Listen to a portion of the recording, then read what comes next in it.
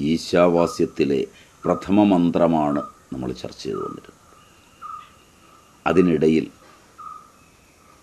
ഒരു ദൃഷ്ടാന്തം എന്ന നിലയിൽ കുട്ടികൾ കുട്ടിക്കാലത്ത് പഠിച്ചിരുന്ന ഒരു ശ്ലോകത്തെയാണ് പറഞ്ഞു വന്നത്.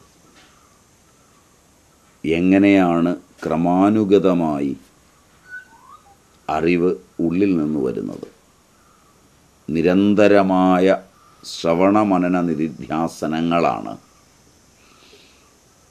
ആത്മജ്ഞാനത്തിന് ഹേതു അവിദ്യാനിർമാർജനത്തിന് ഹേതു എന്ന് നാം കാണുകയായിരുന്നു.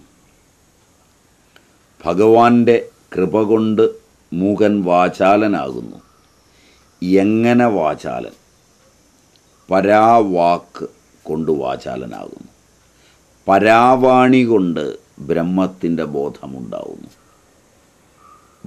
വാക് ബാക്കിയായിട്ടുള്ള വാണിയോ മനസ്സോ അവിടെ എത്തുന്നില്ല. യഥോ വാചോ നിവർത്തന്തേ അപ്രാപ്യ മനസ്സാ വാണിയെ പഠിക്കുമ്പോൾ പരാ പശ്യന്തി മധ്യമ വൈഖരി എന്ന് വാണി നാല് വിധത്തിലാണ്. വൈഖരി എല്ലാം പറയാൻ കഴിയുന്ന വൈഖരിക്ക് ബ്രഹ്മം വിഷയമല്ല. വൈഖരിയിലാണ് നാമൊക്കെ നിഷ്ണാതന്മാരായിരിക്കുന്നത്. തോന്നിയതെല്ലാം പറയുന്ന തോന്നിയവാസക്കാരായി തീരുവാൻ പാകത്തിനുള്ളതാണ് വൈഖരി. ഞാൻ എന്തും പറയും എവിടെയും പറയും എല്ലാവരോടും പറയും വൈഖരിയുടെ ലോകം അതാണ്. അവിടെ ബ്രഹ്മം വിഷയമല്ല. മധ്യമ ഹൃദയത്തിൽ സ്ഫുരിക്കുന്ന ശബ്ദമാണ്. അതുകൊണ്ടാണ് വേദമന്ത്രോച്ചാരണം അതിന്റെയും വിഷയമല്ല ബ്രഹ്മം. മന്ത്രങ്ങളുടെ ലോകം വൈഖരിയുടെ ലോകമല്ല. വൈഖരിയേക്കാൾ സൂക്ഷ്മമായ ലോകമാണ്. വൈഖരി വിഷയങ്ങളെക്കുറിച്ചുള്ള ചർച്ചയും ചിന്തയുമൊക്കെ നടത്തുവാനുള്ള വിഷയവിശിഷ്ടമായ ശബ്ദമാണ്. അവിടെ ശബ്ദത്തിന് അതുപയോഗിക്കുമ്പോൾ തന്നെ അന്ധക്കരണ ഉപാധിയിൽ അതിന്റെ രൂപവും ഭാവവും എല്ലാം വിഷയങ്ങളുടെ ശബ്ദം സ്പർശം രൂപം രസം ഗന്ധമെന്ന അഞ്ച് ഭാവങ്ങളുടെയും സമ്മേളനം മസ്തുളങ്കത്തിലുണ്ടാവുകയും വിഷയങ്ങളുടെ സൂക്ഷ്മതയിൽ അനുഭവം സംജാതമാവുകയും ചെയ്യുന്നതാണ് വൈഖരിയുടെ പ്രത്യേകത. മാനവ ജീവിതത്തിലെ സുഖദുഃഖങ്ങളെല്ലാം വൈഖരിയുടെ ലോകമാണ്. മധ്യമയാകട്ടെ ഹൃദയത്തിലാണ് സ്ഫുരിക്കുന്നത്. വേദമന്ത്രങ്ങളെ ഉച്ചരിക്കുന്നത് മധ്യമ കൊണ്ടാണ്. മന്ത്രലോകം വിഷയങ്ങളിൽ നിന്ന് വിട്ട മനസ്സിന്റെ ലോകമാണ്. വിഷയങ്ങളെ അല്ലാതെ വിഷയങ്ങൾക്കെല്ലാം കാരണമായിരിക്കുന്ന ദേവചൈതന്യങ്ങളെ ഓരോ വിഷയത്തിലേക്കും വിശിഷ്ടമായി ചേർത്ത് അനുഭവിക്കുകയും കാണുകയും ചെയ്യുന്ന ലോകമാണ്. വിഷയങ്ങളുടെ വൈപുല്യത്തിനിടയിൽ വിഷയാധിദേവതകൾ നിറഞ്ഞ മന്ത്രലോകം മാനവന്റെ സൂക്ഷ്മ ലോകങ്ങളിൽ പ്രത്യേകതയുള്ളതാണ്. അതിനും വിഷയമല്ല ബ്രഹ്മം. പശ്യന്തി നാഭിയിലാണ്. അതിന്റെയും വിഷയമല്ല ബ്രഹ്മം. മൂലാധാരം തഥാ സഹസ്രാരത്തിൽ പരാവാക്കാണ്. പരാവാണി. പരാവാണിയുടെ ഉദയം ഉണ്ടാകുന്നതോടെയാണ് ബ്രഹ്മജ്ഞാനമുണ്ടാകുന്നത്.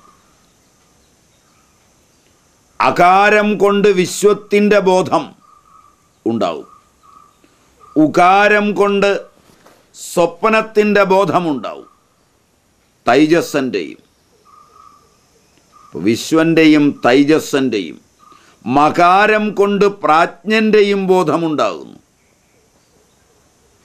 അത് കഴിഞ്ഞ് ഖണ്ഡാനാദോ ഉപമമായ ധ്വനി ഉളവാകുന്നു. ക്ഷേത്രത്തിലൊക്കെ പോയി നിന്നാൽ നമ്മുടെ ബോധസീമകളെ അങ്ങനെ കൊണ്ടുപോകാൻ പാകത്തിനാണ് അവിടുത്തെ ഉപാസനകളൊക്കെ വച്ചിരിക്കുന്നത്. ഒരു തള്ളലും ബഹളവുമൊക്കെയായി വരാതിരിക്കുന്നതിന് പാകത്തിനാണ് ക്ഷേത്രത്തിന്റെ രൂപകൽപ്പന. അതുകൊണ്ട് ഒട്ടു വളരെ ചരിത്രപരവും ഒട്ടു വളരെ ധനപരവും ഉപാസനാപരവുമായ കാര്യങ്ങളെ സംയോജിപ്പിച്ച് സമ്മിളിതമാക്കിയാണ് കൊണ്ടുപോയിട്ടുള്ളത്. ഇത് നമ്മൾ ക്ഷേത്രോപാസനയെക്കുറിച്ചുള്ള ഭാഗങ്ങളിൽ പറഞ്ഞിട്ടുണ്ട്. അവിടെ ഏറ്റവും ശ്രദ്ധേയമായത് ആ ഖണ്ഡാനാദം അനാഹതമായ ധ്വനി. മധ്യമയും കഴിഞ്ഞ് പശ്യന്തി കടക്കുമ്പോൾ അനാഹതത്തിൽ അധ്വനിയുള്ളവാകും. ഖണ്ഡാനാദോപമമായ ധ്വനി ആ ധ്വനി കൊണ്ട് പരാവാക്ക് അഭിവ്യക്തമാകുന്നു. അപ്പോഴാണ് ശബ്ദം നാം അറിയാത്ത ലോകങ്ങളിലേക്ക് നമ്മെ മെല്ലെ മെല്ലെ കൂട്ടിക്കൊണ്ടുപോകുന്നത്.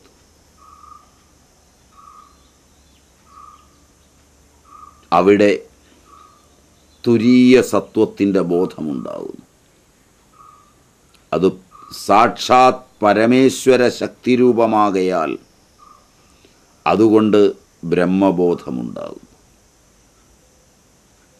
അതിനെ കുണ്ടലിനി എന്നും പറയുന്നു. ഭഗവത് കൃപ കൊണ്ട് പരാവാണി ജാഗൃതമാവുന്നു അപ്പോൾ ജ്ഞാനധ്യാനാദി സകലതും സംഭവമാണ്. എപ്പോൾ ഭഗവാന്റെ ധ്യാനം ചെയ്യുന്നു? അപ്പോൾ ഉള്ളിന്റെ ഉള്ളിൽ പറഞ്ഞുകൊണ്ടിരിക്കുന്നു. ഞാൻ ചരണകമലത്തെ കണ്ടുകൊണ്ടിരിക്കുന്നു. അത് അരവിന്ദ സമാനമാണ്. അതിന്റെ പ്രകാശം നാല് ഭാഗത്തും പരക്കുന്നു. ഇമാതിരി ശബ്ദങ്ങൾ ഉതിർത്ത് ധ്യാനിക്കുന്നു. ശബ്ദാർത്ഥ പ്രത്യാനാം ഇതരേതര ഭാവാത് സങ്കര ശബ്ദാർത്ഥ പ്രത്യാനാം ഇതരേതര ഭാവാത് സങ്കര എന്നിങ്ങനെ മഹർഷി പതഞ്ജലി പറഞ്ഞിരിക്കുന്നു. ഭഗവത് കൃപ കൊണ്ട് പരാശക്തി ജാഗ്രതമായാൽ ആ വാണി കൊണ്ട് പരാവാണിയെയാണ് പരാശക്തി എന്നിവിടെ സ്മരിച്ചത്. ബ്രഹ്മസ്മരണം ധ്യാനം ദർശനം ആദി ഉളവാകുന്നു. ശംഖുമുഴക്കി ഭഗവാൻ പ്രഹ്ലാദന് ആ വാണിയെ ബോധിപ്പിച്ചു. ധ്രുവൻ പറയുന്നു യോന്തപ്രവിശ്യ മമവാചമിമം പ്രസുപ്തം.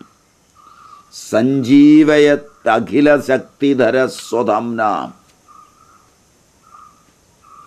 യോന്തപ്രവിശ്യ മമവാചമിമം പ്രസുപ്തം. സഞ്ജീവയത്യഖിലശക്തിധര സ്വധംന. പ്രസുപ്തവാണി ആരുടെ? സാമാന്യവാണികളെല്ലാം ജാഗ്രതമാണ് പ്രസുപ്തം കുണ്ടലിനി ശക്തി രൂപ പരാവാണിയാണ്. അത് പ്രസുപ്തമാണ്. സരോജ്ഞാനം. തദ്യ അസ്തി സ. പങ്കും ലംഘയതേ ഗിരിം എന്നതിന്റെ ദിവ്യാർത്ഥമെന്ത്? പങ്കു എന്നാൽ പാദരഹിതനെന്നർത്ഥം. പ്രപത്തി സാധനാരഹിതം. ഭഗവത് പ്രാപ്തി സാധനങ്ങൾ യോഗാഭ്യാസാദി മന്ത്രയന്ത്രാദികളാണ്. ന മന്ത്രം നോ യന്ത്രം തദഭിജന ജാനേ ഇത്യാദി സാധനാരഹിതം പങ്കുവാണ്. മുടന്തൻ എന്ന് പറഞ്ഞാൽ സാധാരണ ഒരു കാര്യത്തിന് നടക്കുമ്പോൾ കാലില്ലാത്തവൻ എന്നേ അർത്ഥം പ്രകൃഷ്ടമായ ഉപകരണം ഒരു കാര്യത്തിന് കയ്യിലില്ലാത്തവൻ മുടന്തൻ.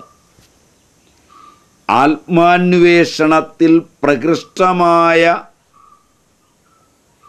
ഉപകരണങ്ങളായ മന്ത്രം യന്ത്രം മുതലായവയൊന്നും കയ്യിലില്ലാത്തവൻ പങ്കു. അങ്ങനെ സാധനാരഹിതൻ. അവന് ഗിരിം ലംഘയതേ. പൂജ്യം പ്രാപയതി ജ്ഞാനാധികം യാ പ്രതിബന്ധത്രയം പാരയതി. ആരുടെ കൃപ കൊണ്ട് പ്രതിബന്ധകമായ പർവതത്തെ തരണം ചെയ്യിപ്പിക്കുന്നു? ആരാധ്യമായ ജ്ഞാനത്തെ പ്രാപ്തമാക്കുന്നു. ആ മാധവനായിക്കൊണ്ട് മാ പ്രമാ അതിന്റെ പ്രതി പരമാത്മാവിനെ ഞാൻ വന്ദിക്കുന്നു. ഈ ദിവ്യാർത്ഥം വീണ്ടും വീണ്ടും ശ്രവണം ചെയ്യുമ്പോൾ പലപ്പോഴും പ്രകടമാകുന്നു. ഇതാണ് അതിന്റെ ദിവ്യാർത്ഥം. ദീർഘകാലം ശ്രവണം ചെയ്യുക. എങ്ങനെ? അവധി ദിവസങ്ങളിൽ ഞായറാഴ്ച ശ്രവണം ചെയ്യുക. അങ്ങനെയല്ല. നിരന്തര നിർവ്യവധാനം ദീർഘകാലം. രണ്ടോ മൂന്നോ മാസമല്ല. മൂന്ന് നാല് കൊല്ലവുമല്ല. സംഭവത അനേകം ജന്മം വരെ തുടരുക. അനേക ജന്മ സംസിദ്ധ നൈരന്തര്യം വേണം. അന്യഥ ക്ഷണാദൂർധ്വമതാർക്കിക എന്നതുപോലെയാവും. സർവം കുഞ്ചര ശൗചവത് ആനയെ കുളിപ്പിക്കുന്നത് പോലെ. കുളി കഴിഞ്ഞാലുടൻ മണ്ണുവാരി പുറത്തിടും. സത്സംഗങ്ങളും അപ്രകാരമാണ്. സത്സംഗം കഴിഞ്ഞാൽ സംസാരധൂളികൾ പൂശുക. അതാണ് ആളുകൾ ചെയ്യുന്നത്. പലയിടത്തും സത്സംഗത്തിന് പോവും. എത്ര ആവേശത്തോടെയാണോ സത്സംഗം അതിനേക്കാൾ ആവേശത്തോടെ സംസാരധൂളികൾ പൂശി തിരിച്ചു വരും. ദീർഘകാല നിരന്തര ശ്രവണാദികൾ വേണം. സത്കാരാസേവിതവും വേണം. ശ്രവണം ചെയ്തതിനെ സത്താക്കണം. നഷ്ടമാക്കരുത്. ശൂന്യമാക്കരുത്. ശ്രദ്ധാപൂർവം കേൾക്കുക. അപ്പോൾ ഇതിന്റെ സത്കാരമായി. എപ്പോൾ വരെ ജീവിതത്തിൽ അത് പ്രാവർത്തികമാകുന്നില്ല അതുവരെ സത്തായില്ല. ജീവിതത്തിൽ പ്രാവർത്തികമാകാൻ തുടങ്ങുമ്പോൾ അത് സത്തായി. അശ്രദ്ധയോടുകൂടി ശ്രവണാദികൾ ചെയ്താൽ അത് ജീവിതത്തിലെത്തില്ല. കേട്ടതും കൂടി എത്താൻ സത്താവില്ല. അസത്താവും. അശ്രദ്ധയാഹുതം ദത്തം. തപസ്തപ്തം കൃതം ചെയ്ത്. അസതിത്യുച്യതേ പർദ്ധ നചതത് പ്രത്യനോയിഹ അശ്രദ്ധയാഹുതം ദത്തം തപസ്തപ്തം കൃതം ചയത്. അസതിത്യുച്യതേ പാർത്ഥ നചതത് പ്രത്യനോയിഹ ശ്രദ്ധയുടെ അർത്ഥം ശ്രത് സത്യം ദധാതി സത്യത്തെ ധരിക്കുന്നത് സത്യധാരണ തന്നെയാണ് ശ്രദ്ധ ഭോജനത്തിൽ ശ്രദ്ധ വേണം. കാരണം ഭോജനമില്ലാതെ ജീവിക്കാനാവില്ല തന്നെ. അതല്ലെങ്കിൽ കുറച്ചുനാൾ കൊണ്ട് ശക്തിഹീനനായി മരിക്കും. അതുകൊണ്ട് ഭോജനത്തിൽ അശ്രദ്ധയുണ്ടാവരുത്. ജ്ഞാനാമൃത ഭോജനവും അനിവാര്യമാണ്. ജ്ഞാനാമൃത ഭോജനത്തിന്റെ അഭാവത്തിൽ സൂക്ഷ്മ ശരീരം ശക്തിഹീനമാവുന്നു നശിക്കുന്നു. സൂക്ഷ്മ ശരീരത്തിന്റെ പ്രബലതയ്ക്ക് ജ്ഞാനസാരമാണ് നൽകേണ്ടത്. അന്ധക്കരണം സൂക്ഷ്മ ശരീരമാണ് അത് ജ്ഞാനമില്ലാതിരുന്നാൽ മൃതപ്രായമായിത്തീരും.